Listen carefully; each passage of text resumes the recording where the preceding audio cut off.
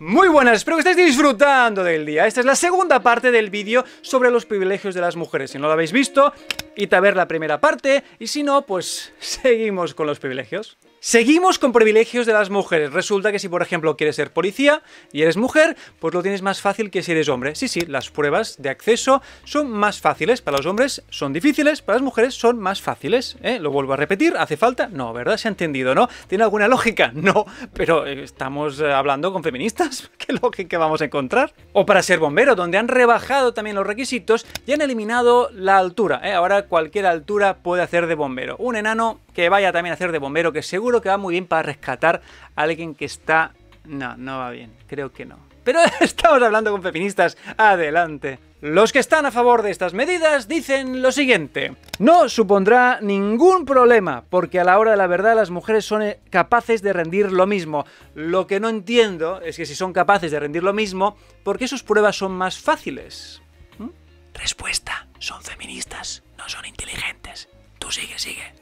¿Os estáis dando cuenta que están quitando requisitos de profesiones que son para la seguridad de la ciudadanía? Y claro, por culpa de estas ideas, luego suceden cosas como esta. Eso se llama pistro que c'è in mano. 3, 2, 1, ¡foco! No. Sono inciampata. No. No. C'è la corda che non Ma si può dare Ci un... C'è la corda inciampata. No. Ci, de- ci deve dare un colpo forte, ci deve dare. E siccome lei non è buona, ci deve dare un colpo forte. No, Io? dai. Io l'ho sempre detto.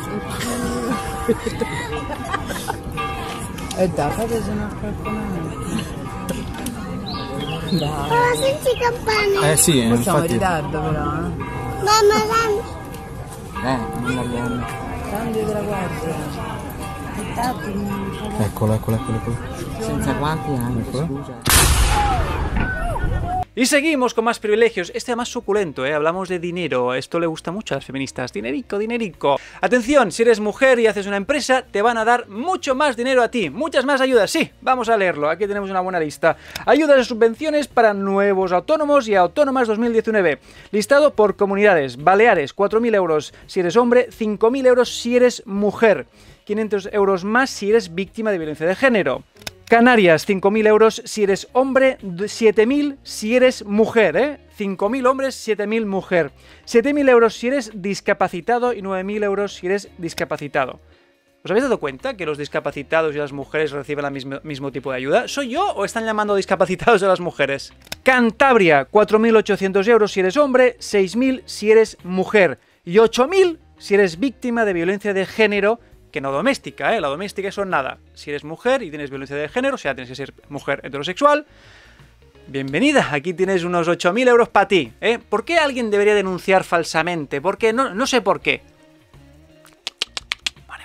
Pero bueno, los hombres entendemos que las mujeres tengan estos privilegios económicos porque nosotros cagamos dinero. Sí, todo el mundo sabe que los hombres cagamos dinero. Perdónate, uff. A veces, me pasa meter un cuesco ¿eh? y salen 50 euros así como quien no quiere. Cosas de ser hombre, ¿sabes? Pero bueno, la cosa no se termina aquí. Las mujeres quieren más, quieren más privilegios. Son vampiros de privilegios. Quiero mis privilegios, sí. Ahora resulta que dicen que deberían pagar menos impuestos por ser mujer. Esto de la igualdad no les está saliendo muy bien, creo yo, ¿eh? Creo que lo han entendido un poco al revés. Otro privilegio que tiene la mujer y que se habla poco es que la mujer puede tener hijos por su cuenta. Hay un banco, un banco de esperma donde van ahí y ¡hala! Ya tienen un hijo. En cambio, los hombres no podemos tener hijos por nuestra propia cuenta. Y no solo eso, sino que tenemos que confiar en una mujer para tener un hijo y que luego no nos denuncie falsamente para no poder verlo.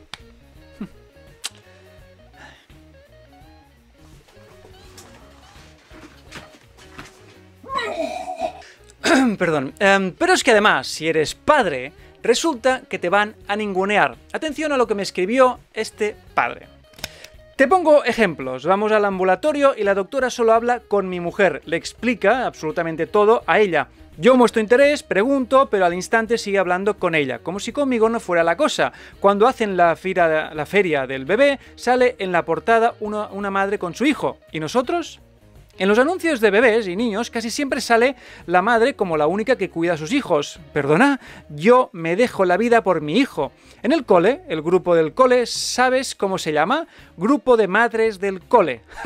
Hoy mismo han publicado un artículo en el que hablan de ir de vacaciones una vez al año, madre e hija. Perdona, y los padres que tienen hijas, y así todo el día. Joan, hablan de las madres como héroes y los padres como un añadido. Luego, las feministas se quejan de que los hombres no hacen nada como padres. Bueno, a lo mejor es que tampoco se está colaborando desde, el lado feminista o femenino a que los padres lo sean, ¿eh?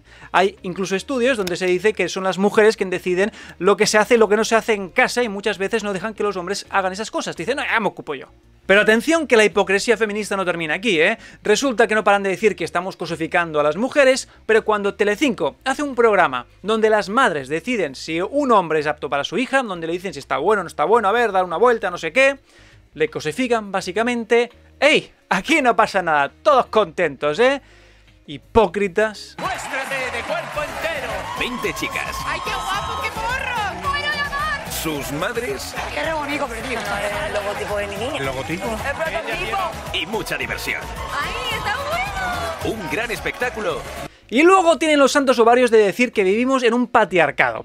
Pues no, bonita. Vivimos en un matriarcado lleno de desigualdad, de la supremacía de la mujer heterosexual. ¿Que no? ¿Que no me creéis? Pues atención a esta llamada que hizo un chico al 016, donde se hacía pasar por una mujer que le maltrataba otra mujer. ¿Le ayudaron? Atención. Mi, mi nombre es María Luisa eh, Monteire y estoy siendo eh, agredida psicológicamente y verbal por mi, ¿Por su pareja? por mi expareja, sí, Expareja, vale. por mi novia, ahora, ¿verdad? por mi, bu- bueno, por mi exnovia. Sí, sí. Él, él no está ahí ahora, ¿no? No, no, eh, era, eh, se llama Carla, era una mujer. Ah, es una mujer, perdone. A ver, entonces le tengo que dar otro teléfono. ¿Desde qué provincia nos llama? Eh, desde Ciudad Real, Vale. Le voy a dar las oficinas de asistencia a víctimas. Allí le pueden informar y asesorar, ¿de acuerdo? ¿Tiene para apuntarlo? En el 016, si eres una mujer lesbiana, no te ayudan. Es solo para mujeres hetero- heterosexuales. Como os podéis imaginar, ¿qué sucederá si llama un hombre? Atención. Vale, ¿y qué es lo que le, qué es lo que le hace? ¿Qué le dice él? Eh, pues ella cada dos por tres me está degradando. El otro día me tiró una jarra a la cabeza y no la aguanto más. Vale, ella. Correcto. Vale, eh, su pareja es una mujer. Sí, sí, eh, correcto. Vale, le voy a indicar otro teléfono, ¿vale? Esto no sería desde aquí. ¿Desde qué provincia llama usted? Lógicamente tampoco te atienden. Lo peor es que te hacen apuntar un teléfono. O sea, ni te traspasan. Tú imagínate con todos los nervios, te están maltratando, tal, y que te tienes que ir a, a ver que tengo que apuntar, tal. Y además, este nuevo teléfono no tendrá los mismos requisitos seguramente que el 016, que el 016 no deja registro de nada. Es que es una vergüenza. Pero la gran pregunta es, ¿tan diferente es el trato que tienen que dar a la mujer heterosexual para que no puedan atender tampoco a las otras personas, a los otros sexos, o incluso a una mujer lesbiana? ¿Tan diferente es el trato cuando te están maltratando? Pues vamos a verlo, vamos a escuchar cómo sería el trato a una mujer maltratada, a ver si eh, hacen algo increíble que con las otras personas no se puede hacer. 016, buenas tardes. ¿Qué puedo ayudarle? Buenas, me llamo Vanessa. Dígame. Verá, mi, mi pareja, Carlos, me, me agrede constantemente. ¿Está él ahí ahora en la casa con usted, señora? No, no, acaba de irse. Vale, ¿está usted herida? ¿Le ha agredido ahora? No, no, no, no, no, no. Ahora mismo no. Es más bien me degrada. En ningún momento me ha tocado, pero Vale, sufre usted maltrato psicológico por parte de él. sí, correcto. ¿Desde qué provincia llama usted? Eh, Santa Cruz de la, Santa Cruz de Tenerife. ¿Y cuál es la consulta que quería hacer usted? Pues no sé, eh, e informarme sobre lo que sucede, qué es lo que pueda hacer.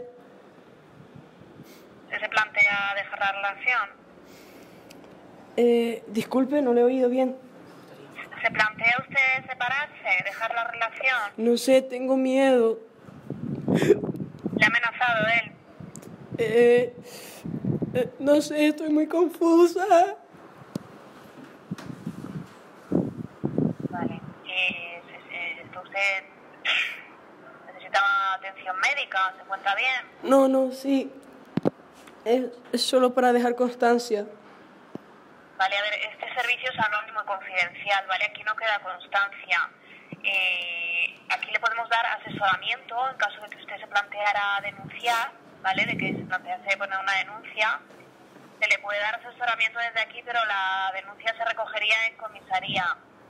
Vale. Eh, ¿Y para qué funciona este teléfono? Servicio de información y asesoramiento. Información en cuanto a recursos eh, y asesoramiento legal. Comprendo. ¿Y usted me puede ayudar? Sí, por eso le preguntaba qué es lo que quiere hacer usted. ¿Se plantea usted separarse? ¿Qué es lo que quiere hacer usted? Creo, creo que ahora no lo tengo muy claro. Vale, a ver, le voy a facilitar un recurso presencial, ¿vale? En Santa Cruz de Tenerife que le puedan dar orientación presencial desde allí. Vale, vale. Tenerife, ¿en dónde? ¿En qué localidad? Como veis, la ayuda y asesoramiento que le dan a una mujer heterosexual no tiene nada de especial y es el mismo que le pueden dar a un hombre o a una mujer lesbiana.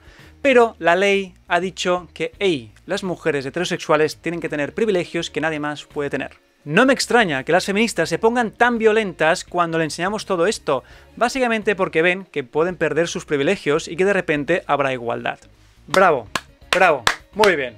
Sí, si queréis seguir teniendo esta desigualdad, pues ala, venga, seguid votando a Podemos y a, PSOE, eh, que esto lo que hará será aún empeorarlo, ¿eh? Pero ah, dale, dale, abrazad el feminismo, quienes os está dando esos privilegios a las mujeres heterosexuales. Adelante, es que lo entiendo, si somos unos catetos. Y nada más, hasta aquí los privilegios de las mujeres, que seguro que hay muchos más que me he dejado, así que los podéis poner en los comentarios eh, y nos divertimos un poquito más viendo cómo los hombres estamos en el fondo del pozo enterrados eh, gracias a este feminismo. Muchas gracias a todo el apoyo que estoy recibiendo, gracias al Club de los Privilegiados. Gracias a la gente que también me estáis apoyando por PayPal y gracias por compartir el vídeo. Suscribiros, nos vemos en el siguiente vídeo. A disfrutar de la vida. ¡Chao! Veo gente, gente suscribiéndose a mi canal de YouTube, gente viendo más vídeos, curioseando, divirtiéndose, gente, sobre todo gente comentando, dándole a me gusta y suscribiéndose. La veo. Suscríbete o mira más vídeos, están muy chulos.